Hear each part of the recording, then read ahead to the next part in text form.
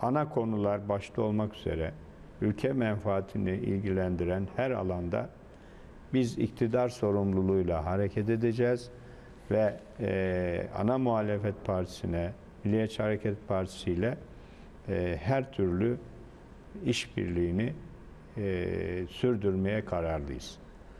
Çünkü bunun Türkiye'nin geleceği olduğunu biliyoruz. Vatandaşlarımız da bu tutumdan gayet memnunlar. Millet kenetlendi.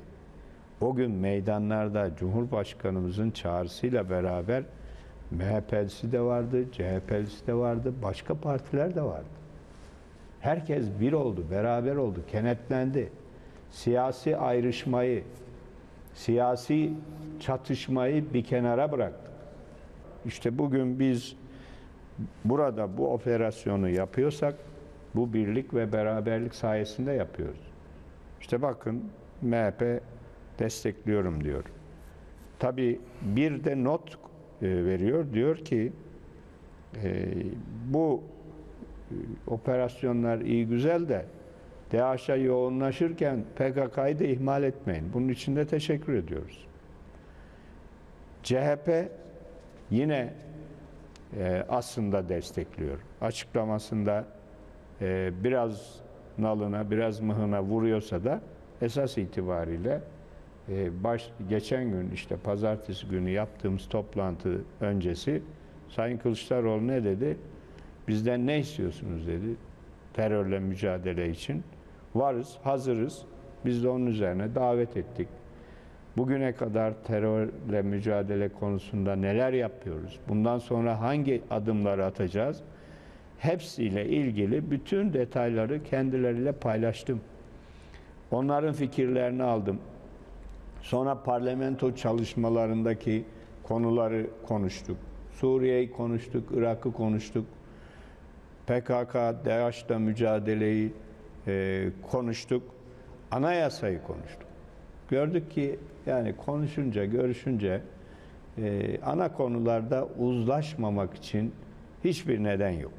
Pekala uzlaşılabilir. Yeter ki kısa vadeli siyasi hesapları bir kenara bırakalım. Orta ve uzun vadede millet menfaatini öne alalım. Nasıl bir FETÖ soruşturmasındaki geldiğimiz nokta şu.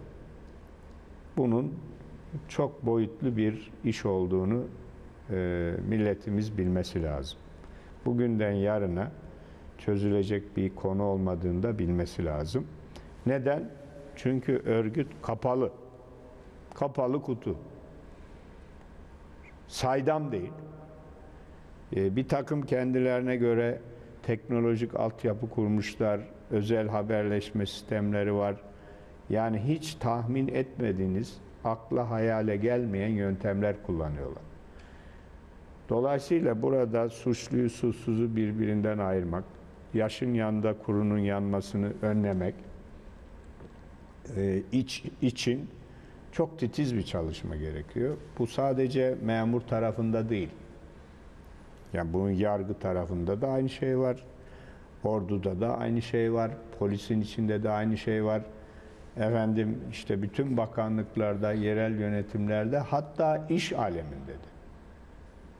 Bütün alanları, üniversitelerde buna dahil, bütün alanlara sızmışlar. Kılcal damarlara kadar girmişler. Ne yapacağız? Bunları titiz bir çalışmayla ayıklayacağız. Onun için zor ve zahmetli bir iş. Yanlış yapmak lüksümüz yok. İnsanların mağdur edilmesi lüksümüz yok. Onun için zaman alıyor. E, ama üstesinden geleceğiz. O hal dediğin şey bakın Fransa'dan örnek vereyim size. Fransa'da bir terör olayı oldu. O hal ilan ettiler. Üç sefer uzattılar. En son altı ay daha uzattılar. Bir terör olayı. Ya bizim ülkemizi yok etmeye çalıştılar. Darbe yaptılar. Dolayısıyla yani bizim daha aradan geçmiş bir ay işte o hal e, uzayacak mı uzamayacak mı? Dur bakalım şu üç ayı bir görelim. Bu üç ayı da e, azami müddetçe değerlendireceğiz. hiçbir şekilde terör örgütüyle bilerek, isteyerek ilişkiye girmemiş. Fakat e, yöneticiler arasında terör örgütü mensubu var veya ortaklarından bazıları terör örgütünün mensubu. Biz bu firmaları öldüremeyiz ki. Bunlar insan çalıştırıyor.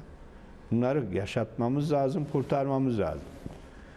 Ölçü 17 Aralık 2013'den bu tarafa eğer firmalar ne kadar terör örgütüyle iç içe girmiş, ilişki içerisine bilerek, isteyerek girmişse bunlara hadi sen masumdur diyemeyiz. Ama değil, bu firmalarla alışveriş yapmak zorunda kalmış. Onlara da siz suçlusunuz diyemeyiz. Vatandaşlarımıza hasbihal etme, e, onlarla sohbet etme, e, düşüncelerimizi paylaşma fırsatı bulduk. Ben size teşekkür ediyorum. Tekrar teşekkürler.